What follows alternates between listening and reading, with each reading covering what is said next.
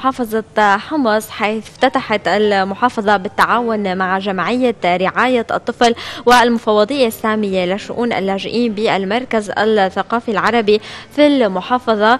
دورة بعنوان كاميرا أنا قادر 100 لوحة عكست رؤية المشاركين من ذوي الاحتياجات الخاصة وإحساسهم بالجمال وتعلقهم بمدينتهم كاميرا الإخبارية السورية كانت موجودة برفقة مراسلنا أسامة ديوب خلونا نتابع.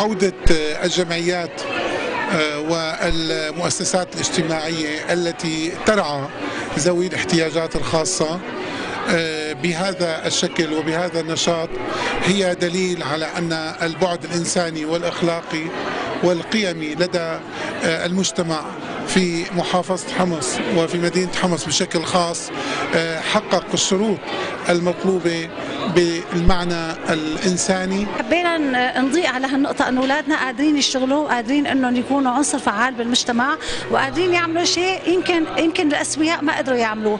فهلأ حتشوفوا الصور إنه هن كيف صوروا بحمص القديمة بمناطق مختلفة من حمص صوروا رفقاتهم صوروا فعاليات عملنا حتى. هذا المعرض هو عبارة عن نتيجة دور التصوير ضوئي لذوي الاحتياجات الخاصة. الاطفال هذول بكثير بحاجة لرعايه واهتمام. فكان الهدف التعامل مع هاي الفئة العمرية اللي عندهم إصابات داون وإصابات تخلف عقلية إنه نظهر مدى المجتمع نظرة المجتمع لهم ومدى هن شو قادرين ان نحن من خلال الكاميرا أنا قادر ان ينقلوا ينقلوا تفاعلهم واحاسيسهم وشو في عندهم مشاكل وكيف بينظروا للحياة هن كأطفال عندهم إعاقة.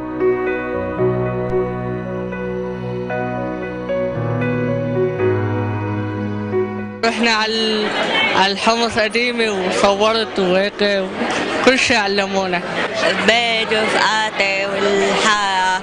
أكيد معرض جميل بيمثل شريحة من المجتمع هي شريحة ضروري أنه ننتبه لها. المعرض جميل جدا وأعطى صورة جميلة لهدول الأطفال اللي نحن بنعتبرهم أنهم ما منسيين أبدا.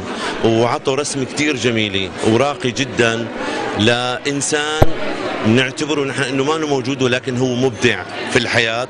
اكتشفوه وعم يقدم كل طاقته في الرسم في الفن في الموسيقى. الأفكار تبعيته كثير حلوة.